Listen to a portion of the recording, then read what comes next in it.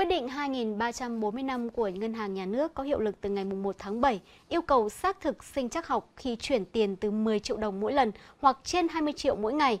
Tuy nhiên, phía Ngân hàng Nhà nước cho biết không bắt buộc mọi tài khoản phải thực hiện sinh chắc học.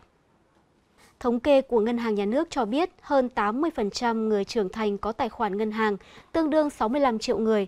Với số lượng tài khoản là 180 triệu, bình quân một người Việt Nam có 3 tài khoản ở ngân hàng. Phía Ngân hàng Nhà nước khẳng định không có chuyện 180 triệu tài khoản này đều phải thực hiện, với các giao dịch trên 10 triệu đồng hiện chỉ chiếm 8% tổng lượng giao dịch của hệ thống. Tương đương bình quân một ngày có từ 1,8 đến 2 triệu giao dịch dạng này.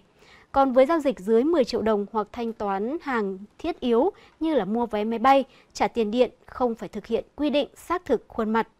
Đại diện Ngân hàng Nhà nước cũng thừa nhận ngày đầu áp dụng quy định có trục trặc nhất định do đông người vào hệ thống. Tuy nhiên, từ ngày thứ ba đến ngày thứ năm, hoạt động bình thường, giao dịch thông suốt. Thưa quý vị, xét học bạ và phương thức xét điểm đánh giá năng lực là một trong những phương thức chiếm tỷ lệ chỉ tiêu cao hàng năm tại các trường đại học, giúp nhiều thí sinh nâng cao cơ hội trúng tuyển sớm. Tính đến thời điểm hiện tại, nhiều trường đại học ở thành phố Hồ Chí Minh đang tiếp tục công bố điểm chuẩn trúng tuyển các phương thức xét tuyển sớm này. Trường Đại học Ngoại ngữ tin học Thành phố Hồ Chí Minh với phương thức xét học bạ đợt 2. Mức điểm chuẩn thấp nhất là 18,25 điểm và cao nhất là 25,25 điểm, tăng nhẹ so với điểm chuẩn đợt 1 năm 2024.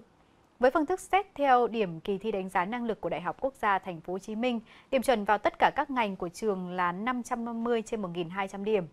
Trường có hơn 1.500 thí sinh với gần 2.000 nguyện vọng đăng ký, trong đó có 255 thí sinh có điểm từ 800 trở lên. Sau khi có điểm chuẩn nhiều phương thức, Trường Đại học Khoa học Tự nhiên Đại học Quốc gia Thành phố Hồ Chí Minh cũng tiếp tục công bố thêm điểm chuẩn của hai phương thức xét tuyển sớm 1 và 6. Ở phương thức 6 điểm chuẩn các ngành từ 8,3 đến 9,58 tùy ngành. Trong đó ngành khoa học máy tính, chương trình tiên tiến tiếp tục có điểm chuẩn cao nhất với 9,58 điểm. Điểm chuẩn ở phương thức này được tính theo công thức là 0,6 nhân với cả điểm trung bình 3 năm Thành phố Hồ Chí Minh lớp 10, 11, 12 cộng với 0,4 nhân với điểm ngoại ngữ quy đổi. Như vậy, tính đến nay, cả nước có hàng chục trường đại học đã công bố điểm chuẩn các phương thức xét tuyển sớm. Thị trường lao động tại thành phố Hồ Chí Minh ghi nhận nhiều tín hiệu khởi sắc khi doanh nghiệp có thêm nhiều đơn hàng, mở rộng sản xuất.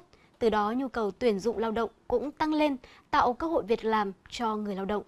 Mà Trung tâm Dự báo Nhu cầu Nhân lực và Thông tin Thị trường Lao động Thành phố Hồ Chí Minh cho biết, sau tháng cuối năm 2024, thành phố này cần từ 153.500 đến 161.500 chỗ làm việc.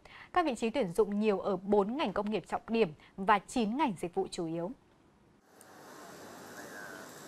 Cụ thể, nhu cầu nhân lực thành phố Hồ Chí Minh tập trung ở khu vực thương mại, dịch vụ cần từ 102.000 đến 108.000 chỗ làm việc, chiếm 66,89% tổng nhu cầu nhân lực. Khu công nghiệp xây dựng cần từ 50 đến 53.000 chỗ làm việc, chiếm 33%. Trong nhóm dịch vụ cần tuyển dụng thêm nhân sự, ngành bán buôn và bán lẻ, sửa chữa ô tô, mô tô, xe máy và xe có động cơ chiếm 25%, vận tải, dịch vụ lưu trú và ăn uống chiếm 3,8%, thông tin và truyền thông chiếm 5%, tài chính, ngân hàng và bảo hiểm chiếm 5%, hoạt động kinh doanh bất động sản chiếm 9,93%. Trung tâm dự báo nhu cầu nhân lực và thông tin thị trường lao động thành phố Hồ Chí Minh cũng cho biết, nhu cầu nhân lực ở lao động qua đào tạo cần từ 134.000 đến 141.000 chỗ làm việc, chiếm 87% tổng nhu cầu nhân lực. Trong đó, trình độ đại học trở lên chiếm 19%, cao đẳng chiếm 23%, trung cấp chiếm 21%, sơ cấp chiếm 23%. Nhu cầu tuyển dụng ở trình độ lao động phổ thông cần từ 18 đến 19.000 chỗ làm việc, chiếm tỷ lệ 12,3% tổng nhu cầu nhân lực.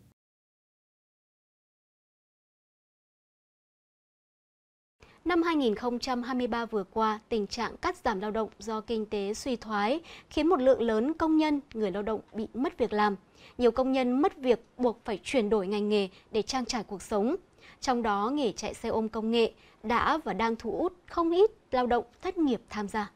Và đến quý 2 năm 2024, khi tình hình các đơn hàng được nối lại thì các doanh nghiệp gặp khó khăn trong việc tuyển lao động bởi nhiều công nhân từng mất việc đã ổn định với công việc tự do.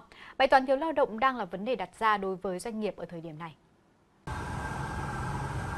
Hai năm trở lại đây, anh Trọng cảm thấy thoải mái hơn với công việc mới. Hàng ngày, nếu bật áp xe ôm công nghệ khoảng 8 tiếng chở khách và ship hàng, anh có thể bỏ túi từ 300 đến 400 ngàn đồng thu nhập tương đương với mức lương công nhân làm một tháng. Ở tuổi ngoài 40, không chỉ có anh Trọng mà nhiều lao động như anh, thậm chí ít tuổi hơn, cũng cảm thấy thoải mái với công việc tự do. Họ không muốn trở lại nhà máy, vốn có nhiều gò bó và áp lực. Cuộc sống trải nghiệm công ty là đã cả 10 năm, mười mấy năm hết rồi, đã biết à, là cuộc sống nó như thế nào, thế nào, thế nào hết rồi. Giờ thì vào công ty thì áp lực công việc, rồi quản lý, rồi đồng nghiệp, mệt mỏi lắm anh. Chẳng thà chạy ở ngoài vậy à, không áp lực về đầu óc, thoải mái. Mình được khoảng ba trăm mấy ngoài đó là đó mình chạy bán thời gian đó. Thí dụ sáng là ở nhà mình có mua bán cà phê, cà pháo hay là mình sinh hoạt trong gia đình xong mình đưa con cái đi học hay xong chọn cái nghề này thì có thể là mình giải quyết cái công việc nó không cần xin phép ai và không có cần gọi là uh, mình trong cái công việc đó mình tự mình thu xếp được. Người lao động có xu hướng thích làm tự do cũng khiến doanh nghiệp khó tuyển lao động. So với 6 tháng cuối năm 2023, nhu cầu tuyển dụng ở một số khu công nghiệp như thành phố Hồ Chí Minh, Bình Dương, Đồng Nai, Củ Chi dành cho lao động phổ thông trong các lĩnh vực sản xuất, bán hàng, kho bãi, vận tải, vận chuyển tăng đến 20%. Trung tâm Dịch vụ Việc làm thành phố Hồ Chí Minh cũng thống kê từ đầu năm 2024 đến nay chỉ có khoảng 8.000 người đăng ký tìm việc trong tổng số hơn 50.000 vị trí việc làm cần tuyển. Thực trạng báo động về mất cân đối cung cầu lao động đang ngày càng tạo khoảng cách lớn. Người lao động đang từ khu vực lao động chính thức chuyển sang khu vực lao động phi chính thức ngày một tăng. Ở Linh Trung 2 mình có 3 đơn vị, đó là công ty Kim Hồng, công ty Quy Mai và công ty Fvinta. Thì như vậy thì ba đơn vị may mặc này đang thiếu hụt lao động do là có đơn hàng hiện tại bây giờ cũng đang ổn định.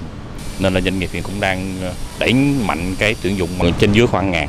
Còn cái người lao động hiện giờ ở khu vực phi chính thức thì hầu như không có tham gia các cái chế độ à, để sau này hưởng các cái chế độ của xã hội. Ví dụ như là à, hưởng trợ cấp thất nghiệp rồi hưởng lương hưu rồi hưởng các cái chế độ bảo hiểm y tế. Trước cái thực trạng này thì tôi cũng suy nghĩ về cái công tác quản lý lao động. Chúng ta cũng nên ở cái bước là làm sao đó để lôi kéo người lao động từ cái khu vực phi chính thức trở về với khu vực chính thức để hạn chế tình trạng mất cân đối cung cầu lao động ở khu vực chính thức, Trung tâm giới thiệu việc làm thành phố Hồ Chí Minh đề xuất sau khi tư vấn hai lần đến nơi làm việc mới có cùng ngành nghề, cùng mức lương và khoảng cách từ chỗ ở đến nơi làm việc tương đương mà người lao động mất việc vẫn từ chối sẽ bị cắt bảo hiểm thất nghiệp. Bên cạnh đó, doanh nghiệp cũng phải nắm bắt được tâm lý, mục tiêu và cả ý nghĩa việc làm mà người lao động đang tìm kiếm để đưa ra những chính sách, chiến lược cụ thể nhằm thu hút và giữ chân người lao động. Nghị quyết số 72-2024 vừa được Chính phủ ban hành về quy định giảm 2% thuế suất giá trị gia tăng tiếp tục được áp dụng đến hết năm 2024 đối với các nhóm hàng hóa dịch vụ có thuế suất 10% xuống còn 8%. Việc giảm 2% thuế suất giá trị gia tăng được kỳ vọng sẽ tác động đến việc tăng cường sản xuất kinh doanh và tiêu dùng trong nước. Tuy nhiên, nhiều ừ, ý kiến của các doanh nghiệp chuyên gia cho rằng trong bối cảnh sức mua đang sụt giảm thì mức giảm thuế VAT phải mạnh hơn nữa mới tác động đa chiều hơn, khả năng phục hồi nền kinh tế sẽ nhanh hơn. Trên thực tế, chính sách giảm 2% thuế VAT áp dụng trong năm 2023 và nửa đầu năm 2024 đã mang lại hiệu quả. Theo đó, đã góp phần kích cầu tiêu dùng, giúp doanh nghiệp ổn định sản xuất, vượt qua giai đoạn khó khăn để hồi phục. Theo các chuyên gia, việc giảm 2% thuế VAT tiếp tục được áp dụng vào nửa cuối năm 2024, góp phần làm giảm chi phí sản xuất, hạ giá thành sản phẩm thông qua doanh nghiệp có hoạt động sản xuất kinh doanh hàng hóa, cung ứng dịch vụ được giảm thuế VAT. Giảm thuế VAT là một trong động thái tích cực nhất và được hoan nghênh cả từ phía doanh nghiệp từ phía người dân bởi nó vừa giúp tăng tổng cầu vừa giúp tăng tổng cung của xã hội. Một mặt nó giúp cho doanh nghiệp giảm giá thành tăng sức cạnh tranh và tăng được thị phần, cũng như việc làm và các cái hoạt động khác. Đối với người dân thì nó giúp giảm giá mua và từ đấy nó tăng cái ờ, khả năng thanh khoản ờ, cũng như là cải thiện được cái chất lượng sống của người dân ở thực tế và cuối cùng đối với nền kinh tế thì tổng hợp hai điều đó nó sẽ giúp cho duy trì động tăng trưởng tạo việc làm an sinh xã hội cũng như là đóng góp cho ngân sách nhà nước. Tôi đánh giá là rất là ưu việt và rất là cần thiết để giúp đỡ cho doanh nghiệp phục hồi ờ, qua cái giai đoạn khó khăn như giai đoạn ờ, Covid và hậu Covid và giai đoạn ờ, khủng hoảng kép về nhất là về giá trong cái thời bão giá như hiện nay. Tuy nhiên, các chuyên gia kinh tế cho rằng việc giảm thuế VAT nếu giảm sâu hơn thì chính sách giảm thuế VAT sẽ tác động quy mô hơn, khả năng hồi phục nền kinh tế sẽ nhanh hơn. Tôi nghĩ rằng giảm 2% VAT uh, có tác dụng uh, giúp cho người dân có nhiều tiền hơn để mà tiêu dùng. Thế nhưng mà tôi nghĩ rằng cái gì việc giảm VAT 2% là thấp.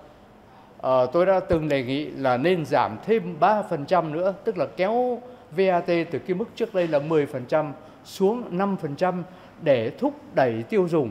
Và chúng ta biết rằng trong 6 tháng đầu năm, ờ, tiêu dùng trên GDP mới chỉ có 64%, đáng lý nó phải ở cái mức 70%. Thành ra tôi nghĩ rằng chính phủ nên xem xét cái việc mà giảm VAT nhiều hơn nữa, không những là từ đây đến cuối năm mà có thể sang 2025 giảm thêm 3% nữa để kích thích tiêu dùng, để kích cầu và từ đó chúng ta có thể đạt được cái mức tăng trưởng kinh tế ờ, ở cái mức mà ờ, như chúng ta mong muốn là ờ, 6,5% cho cả năm 2024. Các chuyên gia cũng cho rằng hiện nay sức mua của nền kinh tế còn thấp, người dân ít tiêu dùng đã và đang ảnh hưởng đến các nhà sản xuất kinh doanh như ế hàng tồn kho, không có doanh thu, đóng cửa. Do đó, bên cạnh chính sách giảm thuế VAT, cần xem xét áp dụng nguyên năm tài chính để doanh nghiệp chủ động kế hoạch sản xuất kinh doanh hơn và việc triển khai thực hiện về hóa đơn chứng từ, tính toán mức giá hàng hóa dịch vụ sẽ thuận lợi, kích cầu tiêu dùng hiệu quả hơn.